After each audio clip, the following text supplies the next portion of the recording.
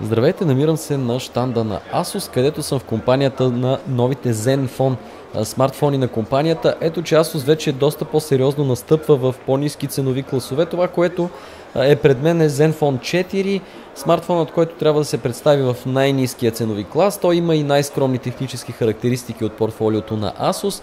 4-инчов смартфон, Intel базиран, Intel Atom платформата се превърна в а, сериозно застъпена при Asus моделите, не само при смартфоните, но и при таблетите им. Тук разполагаме с процесора Z2520 на тактова частота от 1,2 ГГц, който обаче има а, така нареченото четворно третиране от операционната система. Това ни обещават от Asus да бъде ключа към а, доста бързият мултитаскинг или онова, което е много важно за потребителите, да няма лаг, да няма забавене, 1 гигабайт оперативна памет също трябва да помогне за това и батерия от 1170 мАч, която все пак можем да допуснем, че е приемливо малка, тъй като е доста по-компактен смартфон. Резолюцията е 800 по 480 или WVGA, както е по-популярна, но има и IPS матрица, което пък ще помогне за добрите цветове. Други достоинства на модела са горила глас стъклото добавено на дисплея за защита. Сравнително лек е този смартфон, около 115 грама,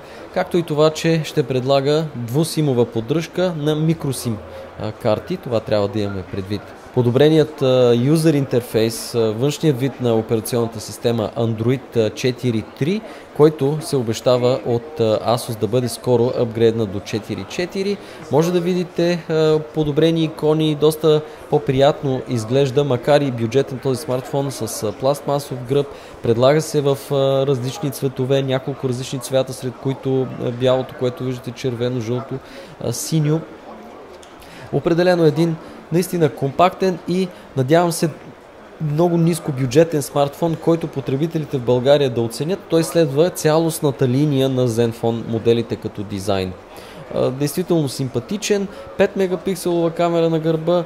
Разбира се, ние трябва да не бъдем твърде взискателни към този смартфон, защото по-сериозните предложения на Asus са в другите категории в другите смартфони, съответно Zenfone 5 и 6 може да ги видите също в нашия YouTube портал.